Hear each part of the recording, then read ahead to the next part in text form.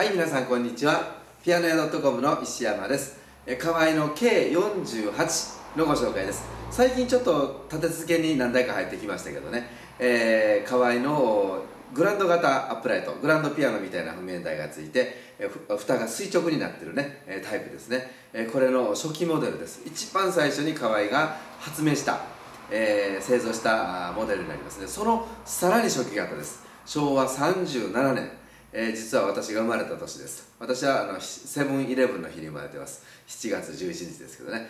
この、えー、昭和37年に作られた象牙の K48 というモデルですね、えー、この K48 のモデルの象牙版っていうのは私初めて見ました。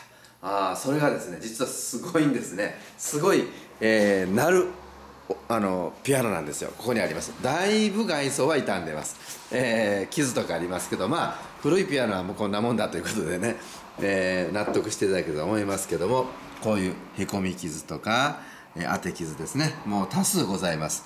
まあ外装にカバーをかければ見えなくなるんですけれどもまあ外装は古さを感じる感じですね。形になってますね、えー、K48 最近はここに貼り付けてあるんだけどここは掘ってありますね。フレームに。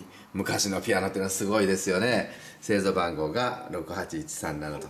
でここにね記録表残ってまして昭和37年11月15日。私は7月ですから。あ高橋さんという私の元上司ですね。河合の時のね、えー、そういう方が最初の調律をねやってますね。鍵盤は象牙です。象さんの牙ですね。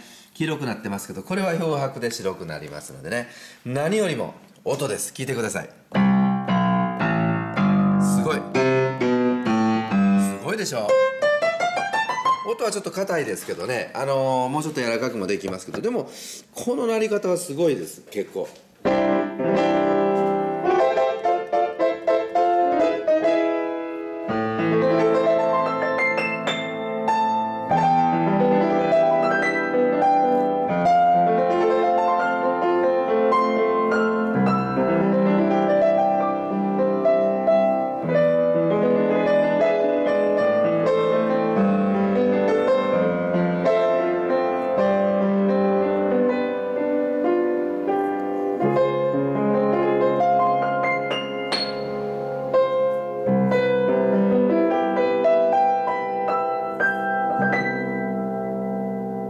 いかがですかこの鳴り、えー、47年経ってるピアノとは思えないですね。まあ確かに、えー、半世紀近く経ったピアノですけどいい音してますね。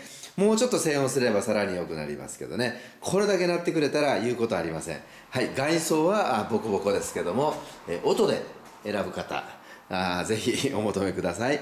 どうぞよろしくお願いいたします、えー、それでは失礼いたします。あこれから整備しますのでこのままじゃありませんのでね。